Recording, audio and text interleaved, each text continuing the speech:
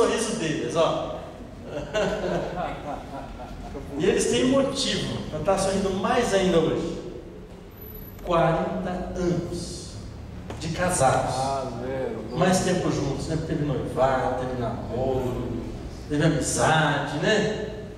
Tudo bonitinho. Vamos no protocolo, né? Espiritual, né? E a semana eles completaram 40 anos de casados. Eles falaram conosco e disseram, pastor, nós queremos ser orado, né? Agradecer a Deus por esses anos. Família toda envolvida no reino de Deus, servindo, missionários. Uns domingos atrás, quem lembra que teve um grupo aqui ministrando no louvor, foi tremendo, né? Uma banda de jazz. Quem lembra aqui desse luto aí? Né? Estava lá, bem filho, né? Servindo ao Senhor, abençoando vidas, né? Então nós alegramos com a vida desse casal. o Horácio tem que testemunhar. Tem, um minuto. Está procurando o fio. Nós só temos é, que dar graças a Deus realmente por tanto tempo juntos, né?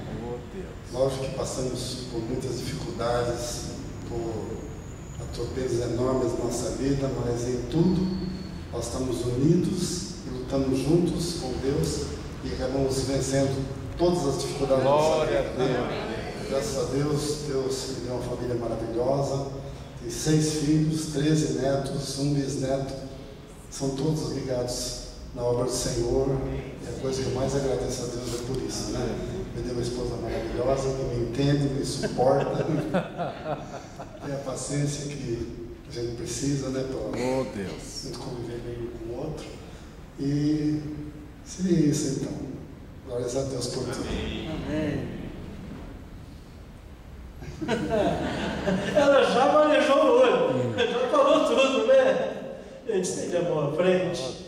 Pastor, pastor Paulo, vem orar aqui. Eu quero estar ungido esse casal. Glória a Deus. Vamos colocar de pé para estar.